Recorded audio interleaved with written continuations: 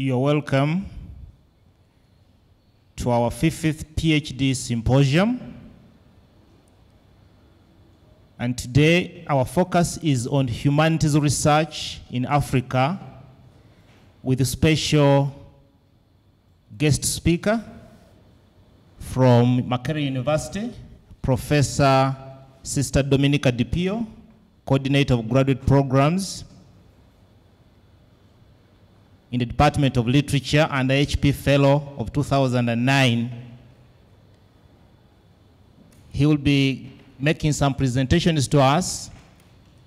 Then we shall present our usual humanities research from our PhD students. Today we shall feature storytelling in Ugandan novels by Mary Naula and Nasana Grace Nyote will be sharing with us something from her master's research on the impact of folklore on children's learning. Also together with us is a PhD candidate, Isaac Chizati Basima from Makerere University Department of Literature, also an AHP fellow, who will be making a presentation on competition music performance. I would like to invite you in prayer, led by Mary Naula. Let's pray. Father, in the name of Jesus, we thank you for this morning that you brought us together. We are grateful for whoever is represented here. For we know that you are the source of knowledge, wisdom, and understanding. And the Bible says, My people perish for lack of knowledge. Father, that's why we are here, trying to deep, dig deep into knowledge. And we're praying, Father, that you lead us and teach us because you are the best teacher. And we thank you for the presentation that is going to be here. We invite you to take over, lead us and guide us and be with us. We pray for your leadership. Father, we bless you. We thank you for our leader, Dr. Gulere. We pray the Lord you bless him as he's working hard to make us reach where we want to reach. Father, we thank you and bless you. In Jesus' name we pray. Amen. Thank you, Mary. You welcome Dr. Joseph Owori to this fifth symposium and all the members. Special welcome to Professor for being with us, Dr. Dorothy Mukasa, and Mark for the good reception we always have in this place. May I first ask our coordinator, graduate school, to say something, and then we shall invite each and everyone to introduce themselves before we go into the presentations. Welcome, Joseph. Thank you so much, Dr. Cornelius Gulere. Um, it's a great privilege to be here, and uh, we thank God that this has been consistent, and this is so far the fifth of this symposia. It's not, if, it's not easy to actually bring people together every month, but we thank uh, Dr. Gulere as the coordinator for uh, this program that is, he has been able to, to mobilize and to solicit papers and presenters. And uh, this is the fifth in a series. Really, we need to appreciate. A word of applause would be sufficient for now.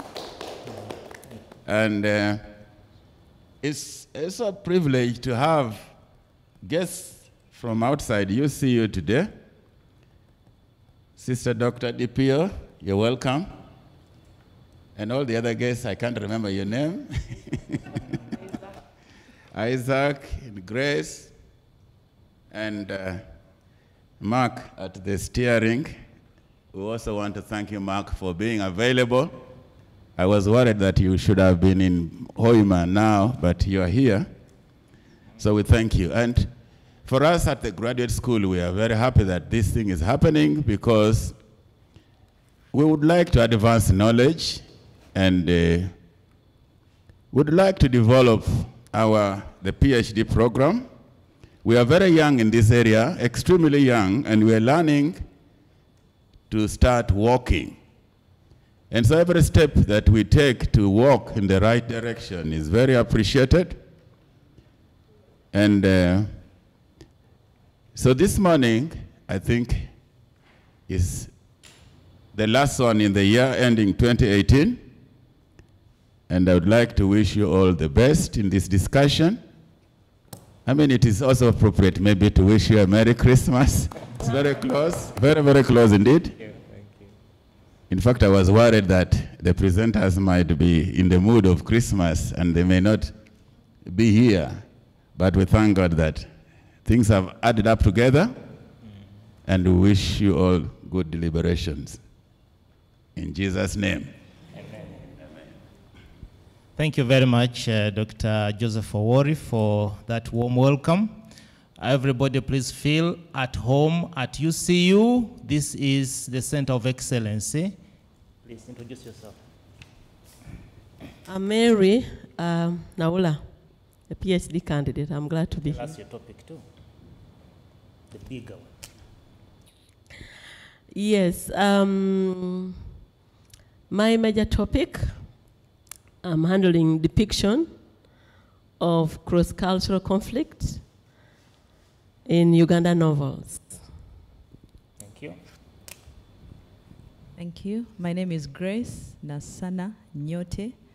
I'm a master's student and I'm handling impact of folklore on children's learning in Bushikori community, that is in Mbale district. Thank you. My name is Isaac Tibasima. I am a doctoral candidate at the Department of Literature, Makerere University. I'm working on uh, a big topic entitled Song and Nation, a case study of the competition music performance in secondary schools in Uganda. Thank you. My name is Dominica Dipio uh, from Makerere University, and I'm one of those who are going to present. Thank you. Thank you. I think I've introduced myself. Did I? I'm Joseph Owor from the graduate school UCU. Thank you. And um, Cornelius Wambi Gulere, Deacon, and Coordinator Graduate Programs, Uganda Christian University, Department of Languages and Literature. I am an HP Fellow, 2010, and uh, I'm here because of Professor Dominica DiPio, uh, who sought me out wherever I was and uh, included me on the Nufu Makerere project that was going around the country to research on African folklore. And that is how the readers of Busoga came to be known. So whatever I'm doing good, thanks to Sister Professor Dominica DiPio. And whatever I'm doing bad, that is my own humanity. Have it and pray for me that I can improve. So you are most welcome to this symposium, Humanities Research. And uh, here we are really focusing on the things that we do well, that we do every day, that we love to do, and yet we know not that it's an important area of literature and research. It's my pleasant pleasure to invite Professor Sister Dominica DiPio, actually it is Sister Professor Dominica DiPio, uh, to take us through the humanities research program called the African Humanities Program of the Africa, uh, American Community of uh, Learned Societies, which started uh, about 10 years ago and has produced a number of scholars, among which you have three in this room. You're welcome, Professor DiPio. Thank you very much. Let me start by thanking, in the first place, Dr. Gulere the, the coordinator for the graduate seminars, um, for inviting us to come to share on the African Humanities Program, particularly. I also want to thank Dr. Owori, the graduate coordinator, who is maybe my equivalent in the Department of Literature, uh, where I also serve as the graduate coordinator for literature. It's a real pleasure for us to be here. Coming from Makerere, it's a, and, and also being invited by Dr. Gulere is a great pleasure also because I feel this is, you know, one who has given birth is becoming old and seeing the children grow. Uh, I'm so proud that um, Dr. Gulere is doing what he's doing in here. And I'm so happy that I've come also with Isaac, who is also my student and colleague in the department because I supervise Isaac. The basic thing we are going to deal with here is really to watch two videos on um, African Humanities Program. But before we do that, I thought it is important for me to say a few things about the African Humanities Program, which is popularly referred to as the AHP program. The AHP program started 10 years ago in 2008. That was when it was rolled out, and it has made 10 years this year. After 10 years of excellent performance, the funders, American Council of Learned Society and Carnegie Corporation, have decided to take a kind of breather to assess what we have achieved over the 10 years so that we can see what will be the new phase for the AHP.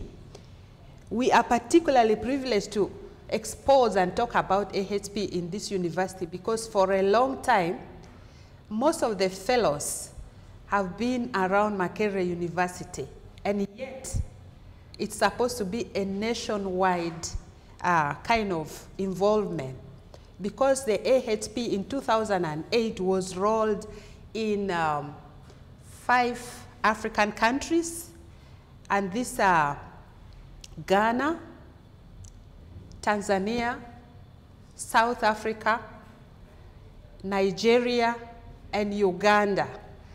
It's meant to go to all universities in these countries, but somehow, maybe I should say, we in Makerere, the big brothers or the big sisters, should be a bit culpable because we have not really um, disseminated the importance of this uh, program beyond Makerere University. We haven't done much. That is uh, really something I must say up front. So um, our responsibility here partly is to interest you in UCC, and later on we hope to go to also uh, maybe Kyambogo to, I know there are a few fellows there, and I'm so happy that Dr. Gulere, who was our own at the time, he joined the AHP, is now here also going to spread the fire of what the AHP is. So the African Humanities program came about because of the realization that the humanities disciplines are marginalized.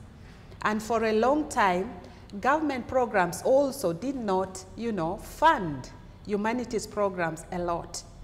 And yet, humanities is at the heart of what it means to be human and to marginalize such a discipline in scholarship is really detrimental. So the Carnegie Corporation, 10 years ago, thought of funding very competitive uh, applications from humanities scholars that will be funded for one year to focus on research that is mostly awaiting publication. So there were two tracks for funding. One is for postdoctoral, which I was a beneficiary of. I was actually in the first crop of the African Humanities Program, and I came on board in 2009 and did my fellowship in 2009 to 2010, and Dr. Gulere was in the second lot. But he represented at that time the category that was referred to as dissertation completion. And this is for people like you, especially the graduate students who are here, who are about to complete their dissertation. Maybe they are left with about a year to complete, and they are supported to bring that dissertation to an excellent comple completion. So, um, and Isaac also is one of the fellows among the dissertation completion uh, applicants. This is a very competitive um, public, I mean, uh, fellowship, but it has excellent benefits, which you will listen to in this video. And among the benefits is to focus on an individual scholar who may have been stuck for one reason or the other, you know, in advancing his or her scholarship forward, mostly to the level of publication. So the money that AHP grants you for a year makes you, you know, stop doing everything else and focus on your scholarship to bring your project to a publication level. One of the most important things they, the AHP actually preferred was to turn people's manuscripts to publications. And it's a rigorous process of publication where you have peer reviewers, where you have, um, you know, development editors, so that when you publish your book, it is going to be circulated widely. May I ask someone to just take this? I have a copy here of the, it will be circulated widely across Africa, across the globe, you know. But because it is African humanities, they want this publication to be principally available in Africa. I hope I am among the first uh, publishers on this series, and I, I believe and I hope my book is in your library because that's what it was meant to be. Um, so, the, the advantage one is that you will publish. And what is scholarship without publication? The main thing about the AHP is Africa-based knowledge generation. For a long time, many times the Africans sit back and receive knowledge generated about themselves, you know? And they are, they are more consumers of this knowledge than, you know, producers. So the AHP makes you really a producer of knowledge and sharer of that knowledge at that. Secondly, another thing the AHP does is for those who are fellows to be, you know, given the opportunity to participate in a week-long program called Manuscript Development Program. Again, that is to get highly talented AHP fellows and advisors to look at your manuscript and tear it apart with your fellows to identify what is wrong with this document and what is its strong point. How can you make it better Many people have published so many articles and they have got promoted because they have sub subjected their manuscript to this very painful process of surgery that is done in this week, week-long uh, manuscript development workshop. You will hear a bit of that from some, and then, and then of course, there is like kind of mobility among the fellows that a person like me who, who started as a fellow has now moved on to being an assessor or a reviewer. That is, uh, we assess public, I mean, applications, the annual applications that are submitted to the, to the AHP team. You, you assess what publication is good enough to win the fellowship. And also, this is an African humanities program. In the US, we have the African Studies Association Conference. That happens annually. It's a conference about Africa and Africans. And Africans from the continent are rarely able to participate in that uh, conference. So what the AHP does is where a group of scholars gather and talk about African issues, and Africans from the continent are not part of this debate is, is an anomaly. So they have also established something called um, African Studies Association Presidential Fellow. I'm glad to say that I've been a beneficiary of this. Also, I was the first to go as a presidential fellow to attend the AHP, I mean African Studies uh, uh, Association conference. And here there is a great opportunity for you to network, for you to present something about your research and fellowship to, to different universities.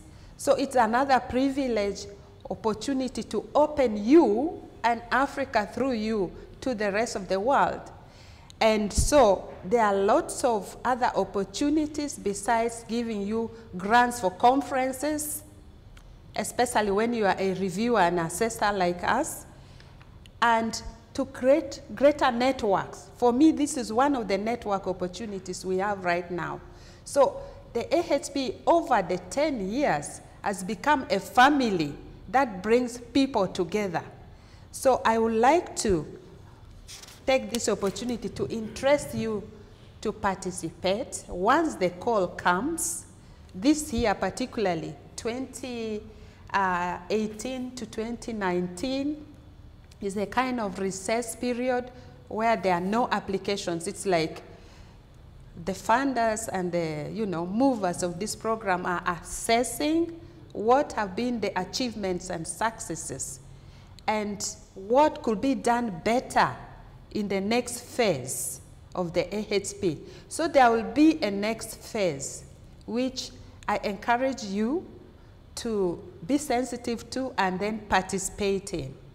Now, I'm going to stop here for the moment to let us listen to the first video, which is an expository kind of five minutes, seven minutes video that will make you listen to the AHP fellows and it will help you understand what really this fellowship has done to so many fellows. And thereafter, we will watch the second one, which is a close-up on two fellows who have benefited from the AHP, and this benefit has made them begin to do things differently in their schools and in their university. And thereafter, we will have a discussion. Thank you very much.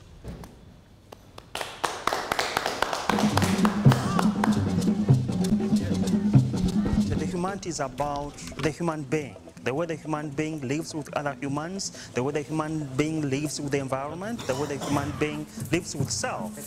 Humanities researchers are basically researchers that describe human experience. It gives you tools for understanding and analyzing society. In the context of Africa, the classics for us really are the oral literature. The reference Chinua Achebe makes to African proverbs is for me a touch of what is classic. You know, the palm oil with which words are eaten. The humanities were, uh, were properly situated in the academia and actually in the value system of the nation in the past, and we're moving away from there. And we had very strong values because these values were being communicated through folk tales and, and all these other oral uh, avenues. And so we can actually see the impact of that in our community. What is the emphasis now? Emphasis now is uh, make money whichever way you can. No sense of fellow feeling, no sense of national pride and identity. The values that we cherish have been weathered away, and now we're saying science and technology will transform this nation. But science without a human face is really not going to transform this nation. We are already seeing the results of that. Every new technology comes up to meet a certain human need. So my view is that the government approach of emphasizing one area and leaving the humanities behind is going to cause us a very big problem because we are going to overgrow one part of the body. I'm reminded of uh, Einstein's statement that uh, scientific invention is is not possible without artistic imagination. People who come to the humanities to make something of it must be people who really love their discipline. Uh, before HP, I was just a teacher, but after HP, I became an uh, academic and a scholar. When I was doing my PhD work, I was exposed to a new theory uh, in, in the area of applied linguistics. The HP gave me the opportunity to publish using this theory. In my case, what I really wanted to do for my doctoral program is what I didn't do at the time when I got the AHP award. Now, trauma studies is one of my major research areas, but this is actually an offshoot of the AHP research. AHP was my savior. it was a time when um, three years had elapsed and I didn't have any more funding and I had not completed my PhD. That was my first postdoctoral grant. It gave me opportunity to network. I took up residence and I was at the University of Ghana. So a good two months of away from teaching, away from grading, you know the big numbers that we have to grade here. AHP launched my career path on a very interesting trajectory of publication. Now I'm trying to think around two book publication this year. And, um, you know, um, I'm scared even that I'm thinking about it. What the HP did was to give me a journey that has no end. I have used my experience and benefit from AHP to serve the communities in the area that I'm based at, and that is the Lusoga language and literature. I got the Fulbright African Scholar grant. I immediately won the Caprex Fellowship. I won another American-based um, uh, grant, which is called Genographic. Shortly, I got the Volkswagen uh, postdoc fellowship. I got promoted after the HP program, and since then, my career has kept on going. When I completed my Fulbright Fellowship, I got the Caprex Fellowship. Currently, I'm a, a fellow of the Cambridge Africa Partnership for Research Excellence. The AHP started this program of sending at least one African scholar to attend the African Studies Association. I had never dreamt that I could read as a poet at the Library of Congress. That is what AHP does for you. Yesterday, I get a call from the University of Nsukka. they have uh, appointed me on their editorial team. So, so I'm linked up in Germany, South Africa, Kenya, and Nigeria and Uganda. So the HP has opened all these doors for us because once people see that you've been a, a fellow of HP, you know, the cloud that comes with that and the exposure that you get through all these different networks of scholars you interact with is, is phenomenal. HP also gave me an opportunity to go for trainings and one of them was a manuscript development training. That is the best thing I've ever had in my life. Manuscript development workshop was very helpful in answering the question of how do you come up with that article which is going to be published? I ended up in the history department and I was doing a lot of uh, historical research already at the time. But the most fascinating was when I, I found uh, this uh, course on um, visual history. The things I learned about manuscript development, the things I thought I knew about writing an article, you know, they, they were revised in, in just one week. I wanted a book manuscript. I tell you, this was over 500 pages, and the publisher in UNISA wanted something about 160 pages. That's another discipline of learning to listen to people who speak something about your book and how to deal with criticism. So that by the time you come out of this and your book is in your hand, you are a very happy woman. Uh, for us in the humanities, especially in Africa, is to get more aggressive and then look for every forum to do presentations that overarching presentations. We've just argue our case, put our foot down and take it to the highest level possible. Recapture the glory of performing arts. We, the experts in the humanities, are the ones to tell the world our value. Literature, drama, dance, history, linguistics, anthropology, philosophy can all come together and look at a problem using, you know, various lenses. We have uh, a debt, a big debt, uh, because these people came from America with good intentions, and these intentions should not die. It is in our plan for members of the department and those from other departments who have benefited from the HP Fellowship for us to conduct workshops in manuscript development. It is the benefit that I'm trying to bring to the art school. Then the art school should write to HP to say thank you.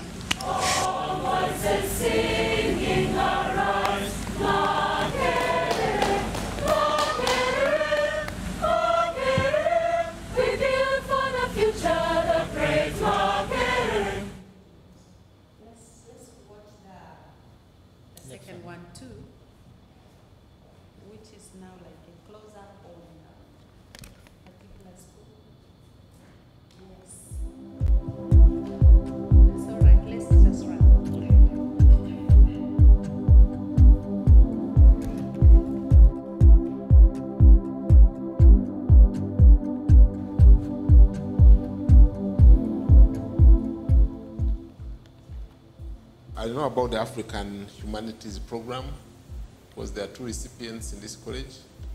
I'm familiar with this AHP because two of my colleagues, Angelo and Amanda, are recipients. I read through it and decided to apply about five years ago. And in fact, I considered applying. I've not heard about African Humanities Program before.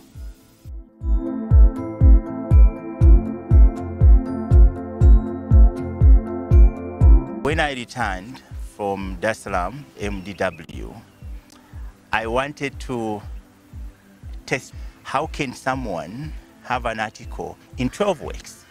I now got the opportunity to introduce what I had learned there to the doctor students at their school.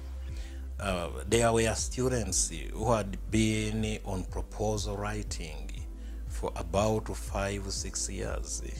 Since Dr. Kakande uh, introduced this uh, platform here, we have been able during the previous uh, two, three years to have about eight, seven students who have defended successfully their proposals on PhD. So I requested him to coordinate the PhD. I was continuously writing and coming up with articles and, and putting them out. The, the best and of course for me was when I put up an article in the Journal of African Arts, which is where everyone would want to put an article. Because of our connections through AHP and through Rhodes University, where we've been doing so many things, we've managed to really come close to the African Arts Journal. Along the way, I got a chance to write the forward. More than uh, 23 papers have been published from here by both the academic, the academic members of staff and our students. The benefit was also enjoyed by colleagues who themselves had PhDs and they thought they could um, somehow improve whatever question they had for purposes of writing a competitive proposal. I have benefited a lot from the manuscript development mode. They introduced us to this aspect of humanities which was not there before. And I know that um, a good number of um, graduate students have benefited immensely. Most of them have uh, already been promoted to the rank of uh, senior lecturer. Angelo has already applied to become associate professor. But also, Angelo is the, is the head of a department. For you to be promoted, you need to have supervised, you need to have published, you need to have done uh, community work. So they, they, you can work towards the promotion. So, and I think that's what Amanda and Angela are doing. AHP helps me to spill out that ripple effect to even the communities around me. Like I've been working with the deaf, I've been working with the blind, I've been working with the, the girl child. I created a garden. And this garden is like behind our flats. But then there was, there was garbage, there were thieves who would hide there, so it was really bushy. I, I took the initiative to start cleaning it up. And I got lorries and lorries of um, plastics. So like in the long run, I've been like collecting special spices, plants, flowers, and then like planting it all over. The, the, the garden seemed to bring out like four different disciplines. We have uh, the fine artists going there, and when they go there, they're looking at uh, the landscape itself, how do you do landscaping, or how do you draw inspiration from plant life to, uh, we call it objective study. Or how do you learn this, uh, about these plants and you make a painting or uh, you design for textile because you know even textile you really need plant life. Students doing urban agriculture from SEDAT also. So they come to learn how do we turn a garbage place into something usable. The students also who are doing plant science, they also come to study, you know, the plants, plant life. And, and so in the end, it just became an academic garden. This is really a small space, but the way it is like having that effect, yeah, I'm really grateful. As an individual, I have benefited. My staff have benefited. My students have benefited.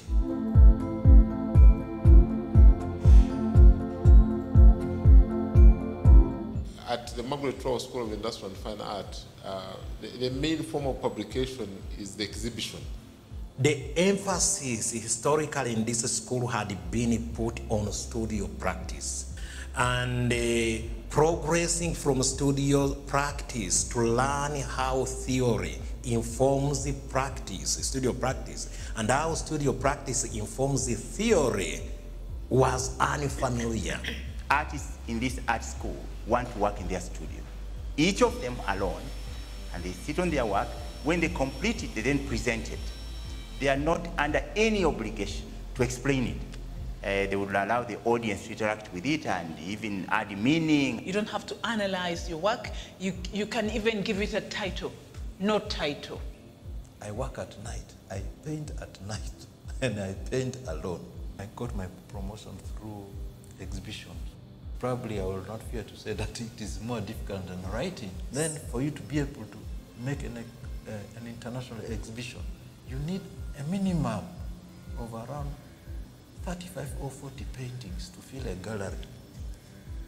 That must be having a specific theme. When Amanda traveled to Rhodes University about two years ago, she came back with contacts and networks, I know one of which was uh, Ruth Simbao, who became our external examiner here. Her interest and focus is to see that uh, Africans write about their own art. I remember our professors saying that you can't just let art speak by itself. You have to speak behind the art. A fine artist who is a studio artist is adding that knowledge of how to write about their art. I think professionally it is going to improve a lot on our ability to communicate. By producing a theoretical manuscript about an artwork, you give the viewer a starting point in terms of appreciating an artwork. I started as a studio person. When it came to pursuing my PhD, I switched from studio to writing. I discovered that my studio had become much more enlightened, had become much more open and receptive to different possibilities.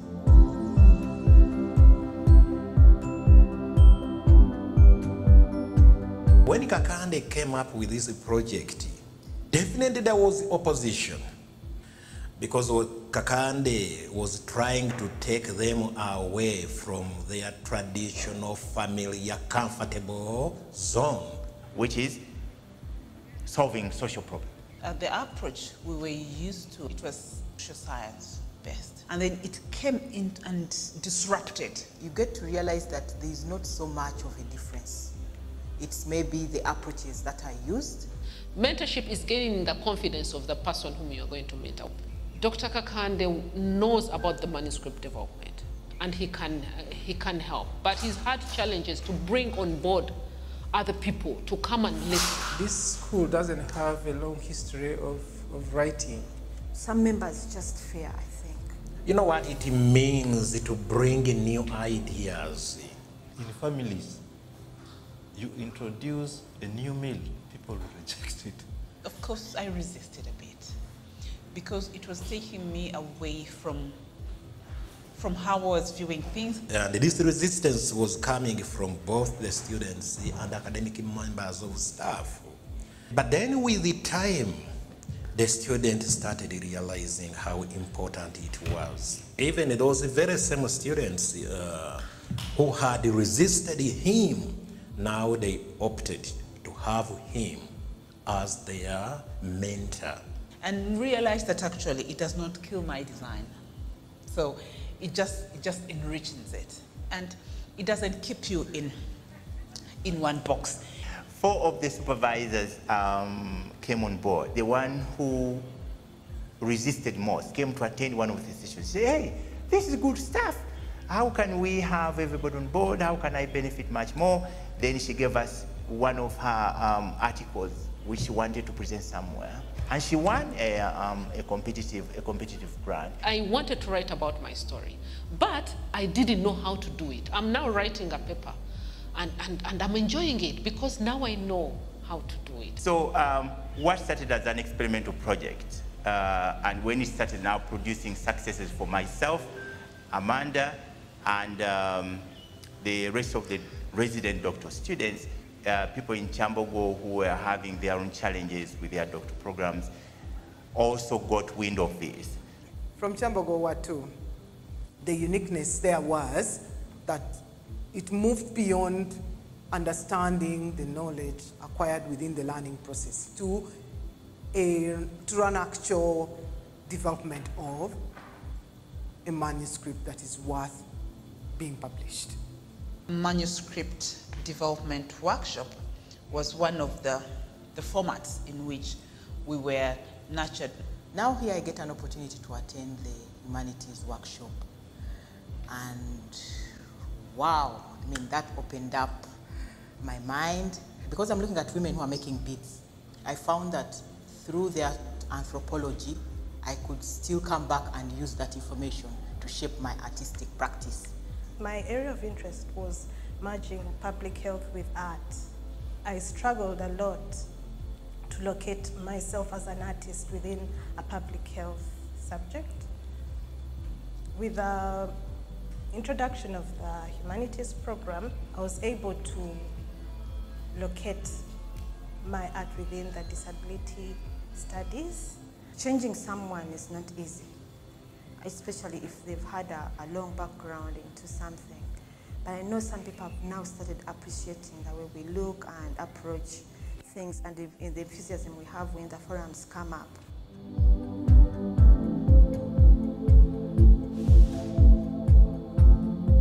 The majority of, of, of the doctors here, they haven't embraced it.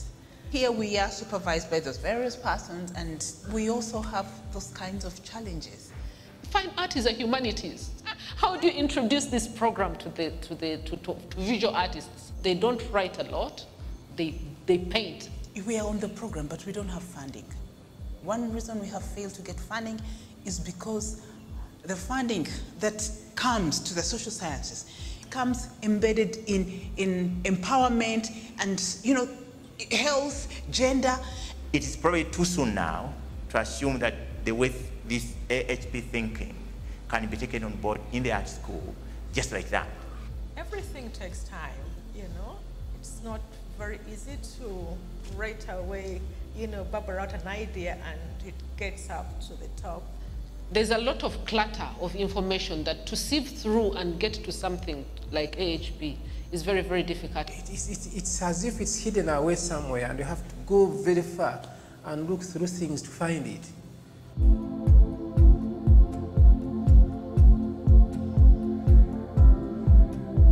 University, must be ready to sacrifice time so that people go away for some periods and come back. It also means that we should have additional capacity within the departments so that when someone goes away, there's no vacuum. We are witnessing a situation where studio research is declining. There is also now uh, uh, a need to look at how to improve the studio practice.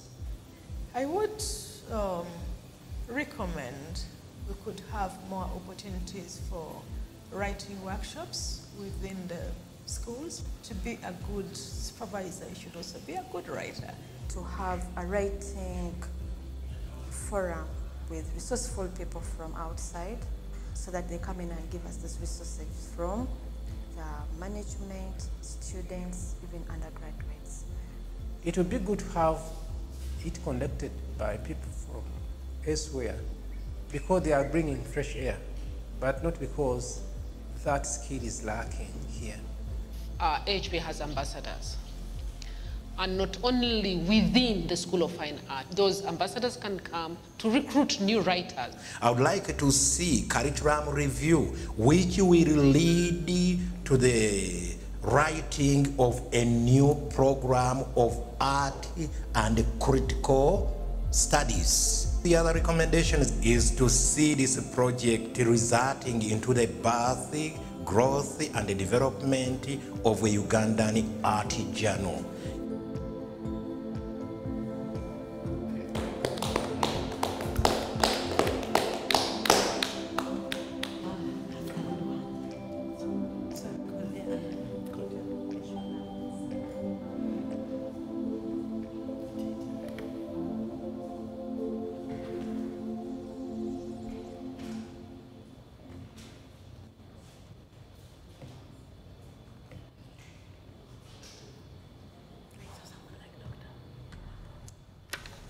Guess you've enjoyed it. Uh, we're now having question and answers. Sister is here, and all of us are here to deliberate on this very important aspect of humanities research and the points that have been raised there, the suppositions and oppositions, fear of new knowledge. What kind of research professor or research supervisor would you like to have or would you like to become? Prof. Thank you. Thank you very much. Actually, um, when I went to the fine art school, I didn't know I would find a lot of opposition in that school because of this new humanities mode, as they call it, was introduced to the fine art school. What I found there is that um, usually fine artists paint, like you had one of them say, and these are not people who are necessarily involved and engaged in writing. They express themselves through, yes, and most of them do not publish. Most of them get promoted through exhibitions of their artworks. Yeah, but you know, an artist could also write about his art. It's not, so what the humanities manuscript development program introduced in the fine art school is to get these artists to begin to write also about their work. And this is a new terrain for them, so they were quite jittery about it. And so, how do you write about an art piece in a humanistic style? That's the big argument there. Humanities um, style, as you had in the first clip, video clip, is you know, you are trying through your research to analyze human society, to make people understand certain situations about humanity, and your conclusions may not exactly lead to tangible, you know, outcomes in terms of people's behavior changing, like perhaps um, the social science research, which is uh, action-oriented NGO kind of outcome required out of the research. So the challenge for the fine art school now is we are used to, for example, an NGO asking me to make a painting about poverty or hygiene issues, and, and that painting, when I do it, will speak to people. And the outcome will be perhaps change your behavior so that, you know, you will live healthier lives. Now, when you are turning that into an academic discourse and writing on it, perhaps you will be analytical in a way without necessarily pointing the direction to conclusion. And the truth about this is many times, even when we write um, uh, fund, uh, I mean, we write projects for funding from our development partners, the, the emphasis is what impact will this have on society? How is it going to change the community's life? And, and yet, the emphasis of humanity's style seems not exactly directed to that. So that was causing some tension in the community, I mean in the school.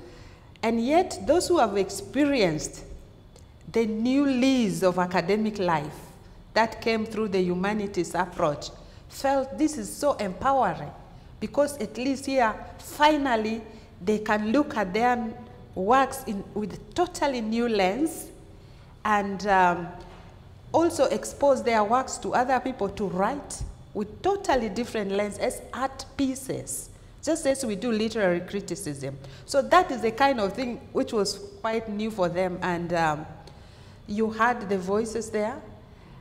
Change is not a very easy thing, but one of the things that um, the scholars said, the PhD students, one, one said, I was struggling to find my feet with this research. You know, I'm, I'm, I mean, I want to do my research in the area of public health, and I'm a fine artist, you know. So when the humanities approach was introduced to her, she saw that she could actually do interdisciplinary research. So one of the things about the humanities research, therefore, is to open up to interdisciplinary discourse. You know, you can be a fine artist, but you can also be involved in public health issues. You can be a fine artist, but also engage with people with disabilities and other, you know, gender and things like that. So um, you, there was so much power, but you, you saw how difficult it is. And I'm sure my, my colleague, Dr. Gulere, um, and me, I know for sure how difficult it is to introduce change in a system that is a, especially very rigid in the way it has done things forever and so on. So those are the challenges that uh, the Fine Arts School face, but you know, change is the direction in which we have to go. Recently, I was um, in Ghana for this um, AHP um, conference where this uh, video was screened for the first time.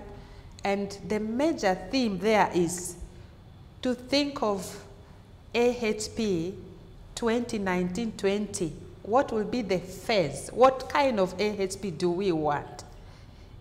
In the sense that, do we want a pure humanities? In the sense that, uh, you know, somehow, even in humanities researchers, there is a demand on us to say, how is this thing going to benefit community? So how are we going to work out the new concept of the African humanities? Should these things be kept, you know, differently, like social science research and humanities research? As one of the uh, fellows here, uh, one of the students say, actually, these things are not quite mutually exclusive. They are not really, they, they, they need not be kept separated. We could weave perhaps a new mode of AHP with some doors of, uh, you know, how we can impact society but impact society we must because we know that we are already, you know, seen as people who are just reading Shakespeare, you know, and nothing more than that. So we have to move from that mode to say, how is Shakespeare relevant really to society? And honestly, Shakespeare is way relevant. When you take Shakespeare to stage, to theater, you have no idea what consciousness people will move away with. The wonderful thing, and we, and, and another group is really emphasizing we should not move away from our humanities mandate. Our mandate is influence thought to cause critical thinking, and that is it. Many times people are running away from that. People don't want people who think critically because it makes life so easy for them. And we cannot let go that mandate. That's the nature of our discipline. If you go, you make a film, you perform poetry. Today, poetry, poetry is, is the thing. Eh? These young poets who perform poetry, you, you, they impact you.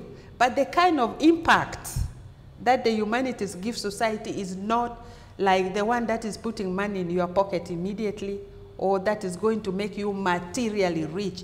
And I think it will be unfair for us to leave that territory which is immaterial, which is intellectual, which is spiritual, which is consciousness raising, to just go in the direction of the material where everybody seems to go. Yes. Thank you very much. Uh, remarks? Query. It's actually not a query. I, Yes. I've been part of AHP, and um, sister is my mentor. Um, she's my doctoral supervisor. What, one of the things I noticed, and I don't know if you've sensed this about the way I even write and the way I speak about my work. Um, when I did my residency at UCT, one of the most amazing things was this kind of vibrant academic community I was part of. And because I was, sent of, I was at the Center of African Studies, you have people in different disciplines anthropology and music and art and gender and all these things. So people come and present their work, and all of a sudden you realize that, you know, this is what you were talking about, that you realize you're so closed into your field that you don't know that there is a lot people can actually speak to your field with, even from their different and differing disciplines. I know a friend of mine who has tried to get into AHP, but he's in languages education. And the first time he was told, unfortunately, we can't take you on because you are in education. And I told him, but no, you can actually get your work and work within the sphere of humanities because you're working with humanities education and it is languages education. I think it's also important that we understand that uh, disciplines are porous, that there is always, you know, I have a friend of mine in sociology and anthropology who has told me after reading some of my work, and he said, I think, Isaac, you belong this side. you, don't, you don't belong that side. And then he's also told me, you know, when I present, because he's an anthropologist, when I present my work to these sociologists, they don't understand it. But when I read your work and you read my work, we can understand each other. And I say, well, I actually use literary tools of analysis. And, and while you use anthropological tools of analysis, we can kind of connect in the way we look at, at, at, at uh, these disciplines. For me, and this is a personal experience, I don't know about my brother here, but I think AHP gave me the chance to realize that there's a lot more than our little disciplines. There's a lot more than just saying I am into literature or I am into history or I am into this. There's actually a lot that I can feed from in every one of these disciplines that helps me to understand even my discipline better. Because then I come out as a better academic, I come out as a better scholar, but also as a better student. That's, that's my thought, thinking through this, what we're talking about, but also my own personal experience. Okay. Thank you very much for that input, Isaac. And I think what you brought in here is uh, who, who qualifies, who qualifies to be a humanities scholar? Uh, must you be someone in literature, language, history, philosophy, those core, you know, humanities? No. Humanities studies is an approach. You can come from social science discipline, and we actually have, uh, we have had two, two fellows who were from social sciences, but they used an approach that is humanities to analyze what would be traditionally considered a social science discipline, gender, which is always oriented to outcomes and so on. So you can come to this, you know, from any discipline as long as you use the humanities approach. Thank you. Thank you, Sister Dipio, for this uh, enlightenment. Uh, um, and my background is from business, and uh, since I, I, I moved on to the graduate school, I am beginning to understand a few things. Because tradition really, as my brother here said, tradition is that disciplines are, they are within their own cages, like animals in their own cages. You can't move to another animal's cage unless you want to be harmed by, by the wild animal on the other cage. So the lions are alone, the leopards are alone, and the rabbits and all the others are alone. But now, over time, I'm beginning to learn that actually these cages can be, they can be removed, and the animals can roam around and benefit as they interact with one another. And so this issue of the humanist, the, the humanistic approach is really very interesting and attractive. We've been talking about interdisciplinarity, sometimes even say mult- multidisciplinarity. Yes. But sometimes people don't even know what they are talking about. We've been, for some time, we've been thinking about developing a PhD program, which is interdisciplinary. But almost three years down the road, we have not agreed what would that thing would look like. Yes. And so the debate is going on. But you see, learning, learning never stops. So we have to keep learning. And I wish we had a little more people in this room from the various disciplines around here. And indeed, they were invited, a good number of us were invited. Yes. But the attendance is as it is. So we, we have to keep moving.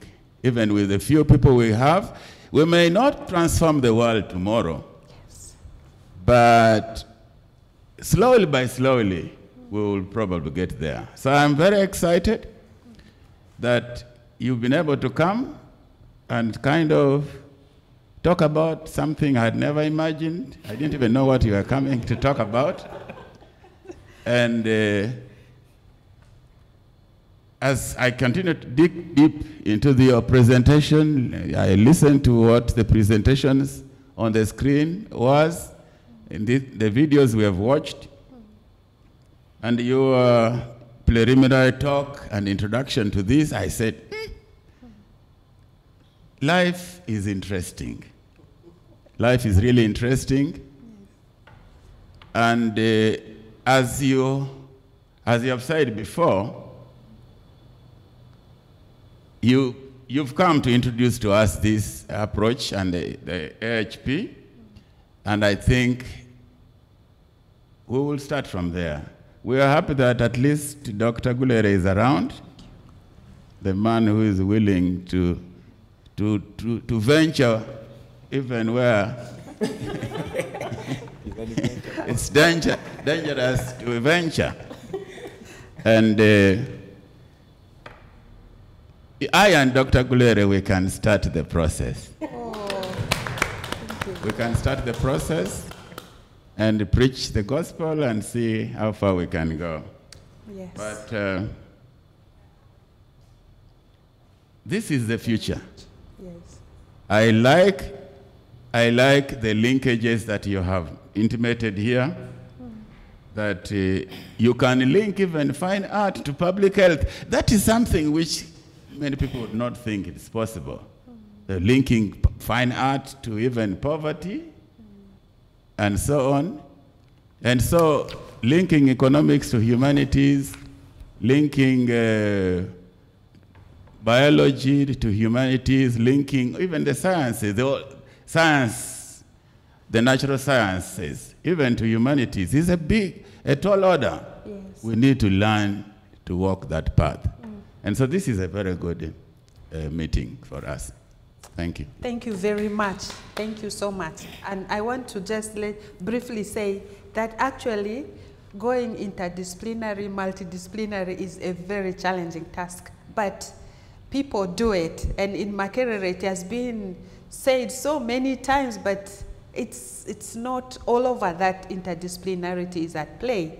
But one of the things that people do today in Makerere, especially uh, because I know that is um, research teams, how they make the, the composition of res- research teams you, th- this may be um, medical research, but you will have a humanities person there, maybe a language person, a sociologist, an anthropologist, because people are beginning to realize definitely knowledge is not compacted in segments. They, they, they are with their lids open. And honestly, people in natural sciences are beginning to say, wow, so the humanities have so much to bring to this research.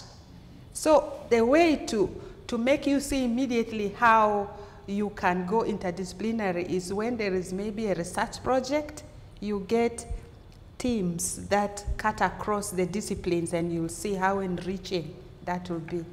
Thank you. Yeah, um, thank you very much, Professor Dipio. Uh, to me, it is like a dream. I remember, um, I think the third or second uh, presentation. Now I understand what Dr. Gulere has been doing. the last presentation we had agriculturalist presenting. And I'm like, is that really literature? But we, we didn't understand you, doctor. now we are getting uh, the background. And he brought another Lusoga presentation, which was, you know. So we are, we are trying now to understand. I think this presentation you've given us is um, an eye opener, and we are very, very grateful that there's something that uh, we might benefit from. I, I personally, I came from a very funny background. I came from mathematics side. I used to like it. But when I came to UCU, um, I got uh, Dr. is now Bishop um, Sheldon Mwesigwa. He, he, insisted. I, I didn't want to do this thing, literature. But told me, no, you can. I said, no. He said, you can. Uh, so at last, of course, he won my heart. And um, I started lit- literature and I've loved it. And also, when I joined the class, I got Professor Wangusa, who gave me more um, hmm, the appetite to do literature. And I'm grateful that I'm moving on with the challenges, but I love it. so, this is so good, and I think we shall get more information as we go through the slides once more. Since it is in YouTube, we, we shall enjoy it. And um, the representative is here. So we shall utilize him very much. Thank you so much. Thank you very much. And like you had one of the guys in the first video say, we have a debt to these people. And I, I want us, you to challenge us from Makerere to support our own here, that we have a debt to share this knowledge and to also empower the people who have not yet gotten there so that they can go. We, we, we will be happy to be involved for mentorship. Yes. Thank you. Mm. Like Doctor had already uh, talked about, I also came in here not really knowing what was going to happen. I knew I was just going to meet my supervisor, talk a few things. But I'm excited to hear this, and there is one major thing I'm coming to understand that it's very important for all disciplines to work together. And in my mind, I'm painting a picture of our body, the way the body functions. There is no way the eye can say they don't need the leg or they don't need the heart or something. So all parts of the body need to help each other in order for the body to function normally. And there's something that came out uh, in the presentation. There's somebody who said it's not good to concentrate on only one discipline because then you'll be overgrowing only one part of that body. And so it is something that is interesting. I've just heard about it, but it is worth uh, following and getting to internalize. Thank you so much for that. Thank you very much. Actually, I remember um, one of our presentations before Professor Muranga, uh, Professor Wangusa went. He told us, I wanted to do my dissertation on oral literature because that's what I did uh, in the master's. And he said, no, we are not just pre- preparing you to uh, be a supervisor or a specialist in a specific corner there. No, we want you to be a, a, a all-round person that even if when you're taken to social science, you are able to do something. You don't need to be in a cocoon somewhere. And we were like, what are you talking about, Professor? But I think this is coming out so well, and uh, we are happy. Thank you. I'm really impressed. Uh, thank you, sister, and all members for your comments. Did you have a comment, Paul? You came in at the tail end. Yes, you'll catch up. Just to say and to underscore what has been said there, that usually the fear of the unknown leads us to miss the opportunity. Uh, Dr. Owori, you are well aware of our humanities um, research, which we've called the action research on writing, uh, translating, and publishing for children in local languages. It has had that kind of hitch, and uh, the points have been well labored there, so we do not have to transplant the, the, the Department of Languages and Literature into Faculty of Arts in Makerere. it is the same experience to the extent that uh, uh, some students were so, so, you know, aggressively against it that they wrote a, a very bad letter about their, uh, their, their teacher. And uh, when this letter was written, some people were frightened in the department, saying now uh, Dr. Gulere is new in this department and everything is going bad around him. Uh, let us withdraw this letter. We shouldn't let it stay there. And I told them, no, please. That letter is a good letter because it is part of the research, it is part of the findings. Let us keep it there so that we can use the letter to know how to progress in this endeavor to give the students and the staff a good humanities orientation. And as we talk now, from 11 students, we were able to get about 150 storybooks in uh, 15 languages. And now we have over 1,500 storybooks in 26 Ugandan languages, including Yoruba and Latin, all running online through this effort of community service and also writing not with money in mind, but with a critical mind to inform society. And here, the department is focusing on how can the department use the resources available in this university to serve the communities. The House of Bishops had complained about children especially in the holidays, languishing around and they have nothing to read. They are being taught in their mother tongue, but they have nothing to study. They are always rushing for television and uh, their parents' WhatsApps and mobile phones. And in that way, we are not helping society. So, how can we, as scholars and researchers, teachers and students of literature, help society? So, this project has been served by people from all the disciplines, from all the faculties, from all the units. The cooks helped so much with Kumam. Uh, the, some people from human resource helped with the, with the Lukonzo. Uh, and so many, uh, our dear uh, Dr. Owori and, uh, and Mary helped with Dhopadhola. And so we have been moving like that. And uh, last time when we were launching one of the students' books in Lango, who has written two titles and has been selling a copy at 8,000 shillings to raise his school fees, it dawned on some of those who were resisting that actually this could even become a business. But first, it is knowledge, and then secondly, information, and then after that, it can become anything, values, and the rest of it. So I'm very glad that uh, Uganda Christian University can have a taste of this. Like Mary was saying, we had at one time here uh, self-acclaimed poets and presenters in Lusoga, a mother and a son. They came here and gave us very, very nice presentation about Kampala. Some of us a kind of Kampala that we didn't know, but they had put it in poetry and they acted it here for us. And then we had a PhD student who is soon to uh, defend. He was talking about um, uh, how ICT can be used in uh, agriculture to monitor information about particular programs in farming. And she did this in, uh, in Kenya.